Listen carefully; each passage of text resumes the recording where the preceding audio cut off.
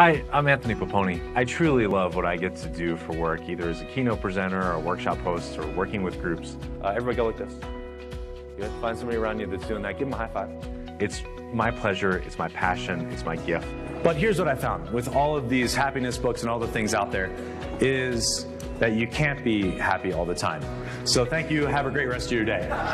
It's an expression of who I am and what I'm supposed to be doing on this planet, and I love bringing that to my clients. And of course, we've inherited these caveman brains or cavewoman brains or cave people brains that are, really haven't changed much in 200,000 years.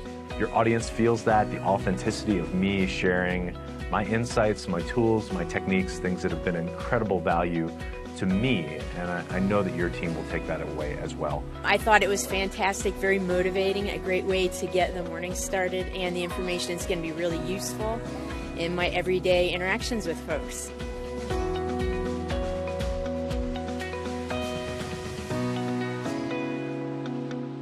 Hi guys, you're late. 10 push-ups. It's always high energy.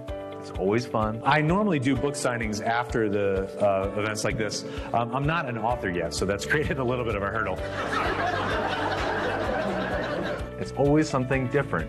Uh, we also have a team building activity that hopefully we'll have time between now and the workshop. We're going to go into the parking lot and we're going to flip and burn a car together.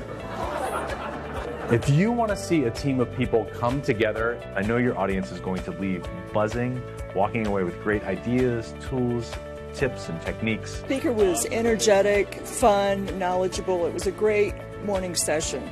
They'll be inspired and ready to enact the tools that they've just been given. I'd love to help you create a memorable experience at your next event. Please jump on my website to contact me or to learn more about who I am and what I do.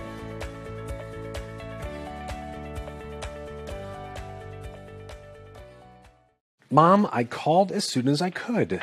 I was shooting that video I was telling you about. Yes, I'm wearing those nice dress pants you bought me. Yes, I'm wearing underwear. Yes, they're clean. Mom,